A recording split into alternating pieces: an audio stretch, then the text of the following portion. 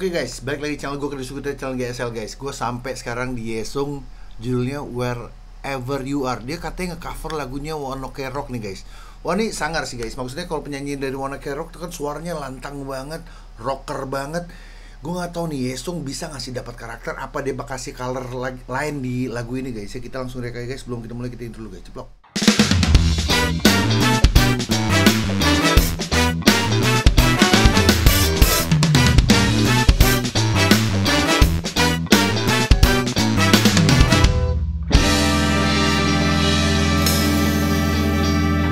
Ceplok. Oke guys, gue udah buka guys, hitam ya belum di play. play. Oke guys, ini Yesung dari Suju guys, Super Junior Wherever You Are cover lagunya dari One Ok Rock guys. Kita langsung aja guys, kita langsung react satu dua, ceplok. Oke. Oke, lagu-lagu emo-emo gimana gitu guys. Kita lihat guys. Oke, Yesung. Eh buset anjir. Gokil tarikannya guys. Gila pitch guys ya. Gak ada falas nih guys. Gue suka banget tarikannya Yesung. Yesung yang terbaik sih. Tuh. Live lagi pede banget. Gokil. Biasa guys yang sering gue sebutin guys. Dynamic tuh begitu guys.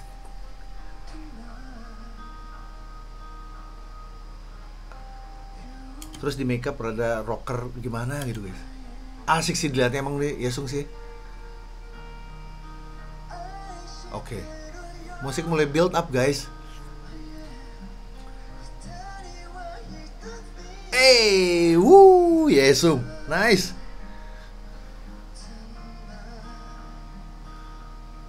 Rasanya gayanya dia, guys, ya jadi lebih lebih ke ballad menurut gua, guys. Wow. Oh my god.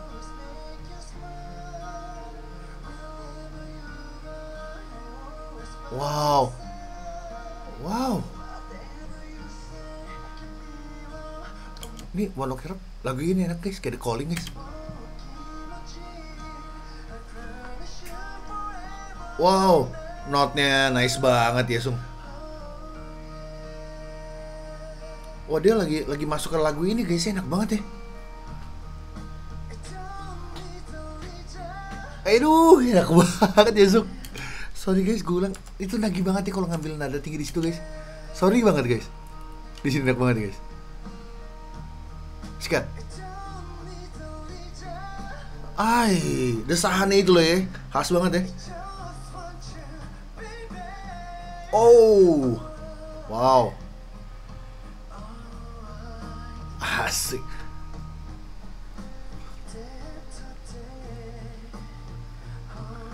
Nggak gue kadang-kadang suka sirik sih guys Kalau ngeliat penyanyi itu udah aman banget guys ya secara notasi Mereka tuh jadi lebih konsen bukan lagi ke lirik Bukan lagi ke notasi yang mereka hajar Tapi mereka benar-benar perhatiin tuh yang namanya lirik.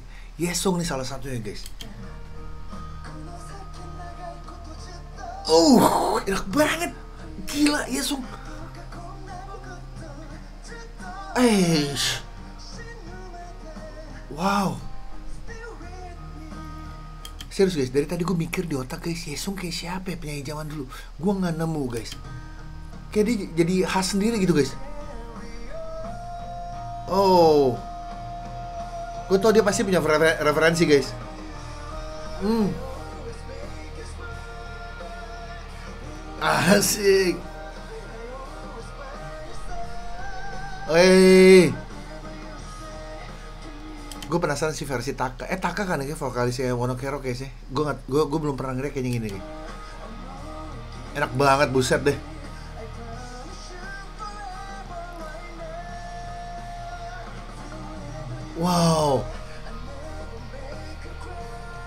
guys ini kalian pernah gak sih denger guys? Maksudnya gue jadi ngebayangin sekarang kalian ke karaoke nih guys ya. Karaoke sama teman-teman guys.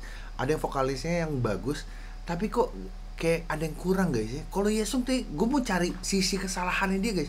Belum dapat sejauh ini guys. Gila ya gokil ya. gokil guys. Masih live gak ada salah. Gila digas kayak gitu nih. Gokil ya oh gak ada yang fals guys. Aduh, anjing keren. Temponya juga gokil. Oh my god. Guys itu susah guys. Itu susah guys. Ini tadi barusan.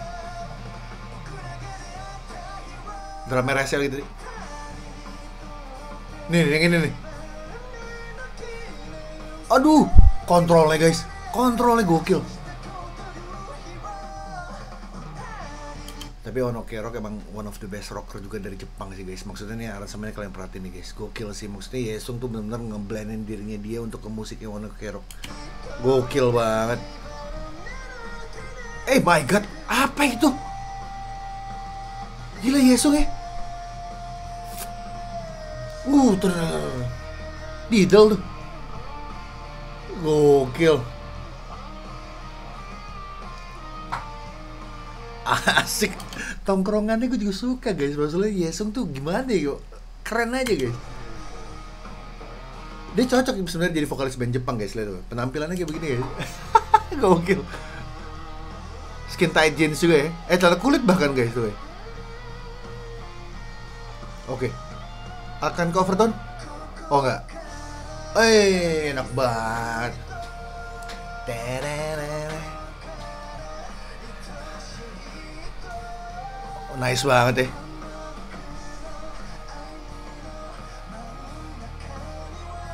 Gila ini bener-bener One Ok Rock juga musiknya tuh hampir kayak The Calling, kayak Creed guys ya, rock-rock uh, modern rock tahun-tahun awal 2000-an guys ya. Terus suara Yesung itu menurut gua gimana guys ya? Kayak antara jadul ke depan dia bisa ke mana-mana guys soalnya guys. Vokalnya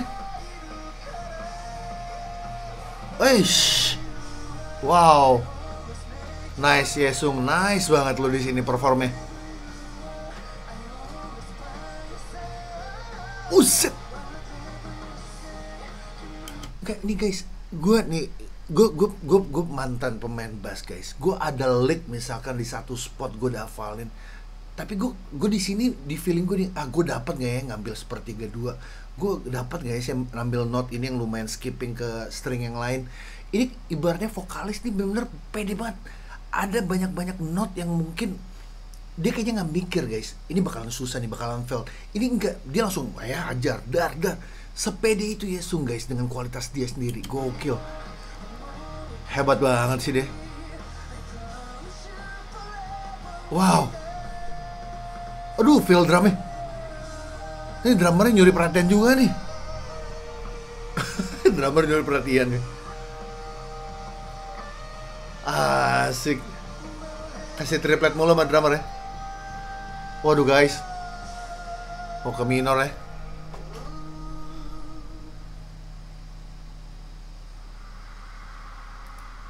Gila guys. Ngebawain lagu rock guys. Ngebawain lagu rock tuh sebenarnya susah guys. Maksudnya kalau kalian kiblatnya ke arah Dream Theater Kiblatnya ke arah nggak nggak semua sih guys. Maksudnya eh, bukan nggak semua. Semua. Bukan karena genre rock aja kalian harus benci guys. Karena ada beberapa orang ah rock lagu gimana? Gitu. Tapi sebenarnya secara skill secara teknik untuk menyanyikan lagu yang seperti itu guys itu beneran butuh pengalaman butuh teori yang mateng banget guys. Karena gue tahu persis guys nyanyi rock tuh nggak sembarangan orang bisa achieve suara rocker. Karena makanya apa di Indonesia aja rocker juga yang legend itu kan juga jarang nggak terlalu banyak yang bejibun kayak lagu pop bener nggak guys? Oke guys sekian dulu dari gue thank you for watching. Jangan lupa untuk like share and comment this video. Jangan lupa untuk pencet tombol subscribe Chris sign out. Bye bye